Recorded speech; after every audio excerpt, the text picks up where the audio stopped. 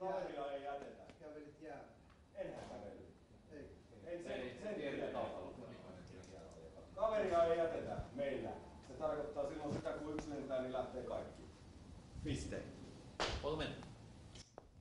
No niin, Pasi Nurminen matsin jälkeen, mitkä mietteet? No joka ilta joudutaan yhdeksää kymmentä jätkää vastaan vetämään, että hankala tuntuu pelejä olla voittaa, että milloin viedään maalit, milloin annetaan jäähyjä, kaveri ei pääse ekaan kymppiin omalta alueelta pois, mutta kyllähän se tasotetaan se tilanne. Pari boksia siihen, niin kyllähän ne sitten on pelissä mukana. Ei voi kuin ihmetellä, miltä herra Hakkarainen pääsee edellisen esityksen jälkeen Tampereella viheltää meidän peliä heti uudestaan perään. Aika paljon siellä virheitä. Sitten siihen lyön tryout poika viereen vielä, käy ymmärrä pelistä mitään. Niin.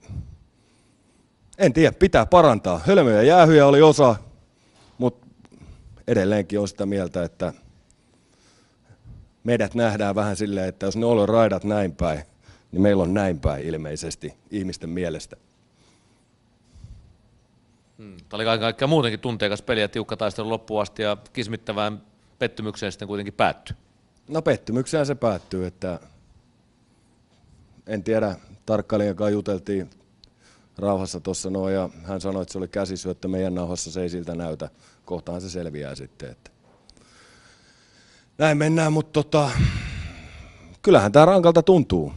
Rankalta tuntuu, että kyllä mun mielestä ihan loistava peli kanssa nähtiin kyllä kentällä tänään se, mitä vielä saatiin pelata, että, että, että erittäin aktiivinen, jossain määrin varmaan aggressiivinenkin, mutta mun mielestä aika puhdas.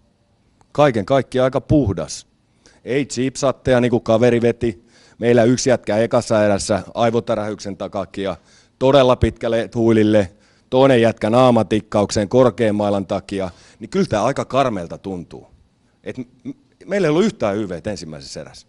Kaverilla kyllä oli.